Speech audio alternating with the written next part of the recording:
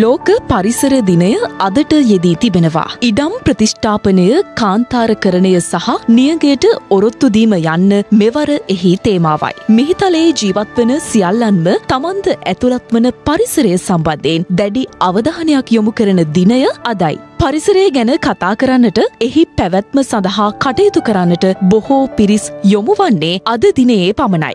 නමුත් ඒ දිනෙහි අරමුණ සැබෑවටම ඉටුවනවාද යන්න ප්‍රශ්නයක්. වර්ෂ එක්දස් නමසය හැත්තැතුනේ අදවන් දිනක ප්‍රකාශයට පත් කළ ලෝක පරිසර දිනය අද වන විට තවත් එක් සැමරුම් දිනයක් පමණක් බවට පත්ව තිබෙනවා.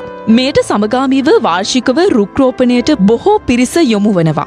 එසේ රෝපණය කරන ලද පැළවලට නිසි නඩත්තුවක් සිදුවනවාද. ආරම්භ කරන නව පරිසර සංරක්ෂණ ව්‍යාපෘති අකණ්ඩව ක්‍රියාත්මක වනවාද. ගැටලුව ඇත්තේ එතනයි. මේ සියලු පරිසර සංරක්ෂණ කටයුතු නිසි අයුරින් අකණ්ඩව පාලනය වන්නේ නම් සැබෑවටම පරිසර දූෂණය මෙතරම් ඉහළ යන්නේ නැති බවයි අපගේ අදහස. එබැවින් ලෝක පරිසර දිනය සැමරුම් දින අතර එක් දිනයක් බවට පත් කරන්නේ නැතිව එහි සැබෑ තේමාව ඉටු කරන්නට වෙහෙසෙමු යන්න මෙවර ලෝක පරිසර දිනේදී අප මතක් කර සිටිනවා. රටේ ලෝකෙ සිදුවන උණුසුම්පුව දැනගන්න සියත නිවස් YouTube චැනල් එක අදම සබස්ක්‍රයිබ් කරන්න.